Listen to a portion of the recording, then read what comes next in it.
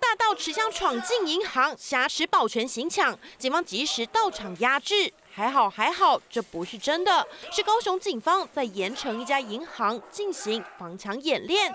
但就在同一时间，竟有窃贼趁机偷包包。不要停住，不要停住！啊，你你提啥物件？啊？戴银色安全帽的嫌犯左肩背着粉色女用包，快步离开。眼睛远警立刻上前。这包包是查某查某用的，为为啥提这包包啊？我请查某来考，关你啥个秘书啊？面对警方询问，嫌犯大言不惭，还反呛要提告。对啊。啊。对头家。等下来这附近问问就知啊。啊啦袂。我等下问啊。我告你。我等下问啊。眼看警方不罢休，嫌犯恼羞成怒，大骂三字经，当场被压制。我这物件倒位来啦？你带到的。啊。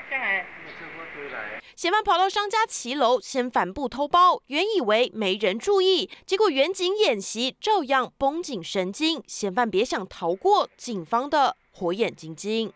记者王家庆高雄报道。